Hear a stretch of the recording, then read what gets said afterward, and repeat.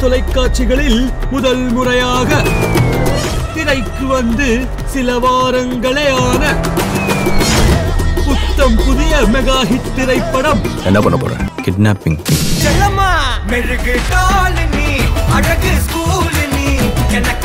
இந்த பட்டன் எப்பவுமே போட்டுதான் இருக்குமா? அதுக்கு தானே கொடுத்துருக்காங்க. அப்பா அம்மா ஸ்கூல்ல வெயிட் பண்ண மாட்டியா? உன்னை எவனா தூக்கின்னு போவான்? உன்னை காப்பாத்தா அவன் என்ன தூக்கின்னு வருவான்? ஐடி மன்னிப்பு கேட்கணுமா?